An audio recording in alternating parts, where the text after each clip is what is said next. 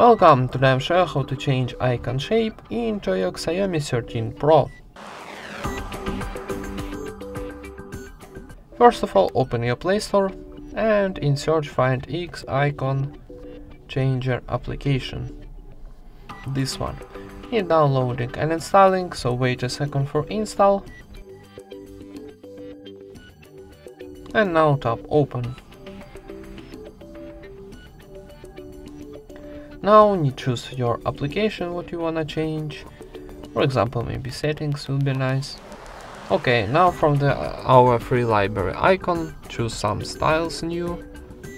Mm, maybe here something new, like this for example. Okay, and if we wanna save this icon for our settings, you tap OK button in the top right corner.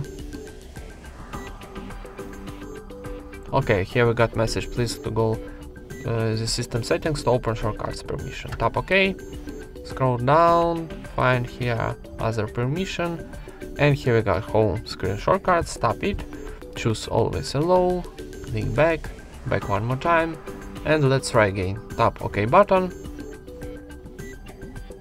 I'll wait a second for generating. Then need close ads maybe a few times because it's free application and one more time close ads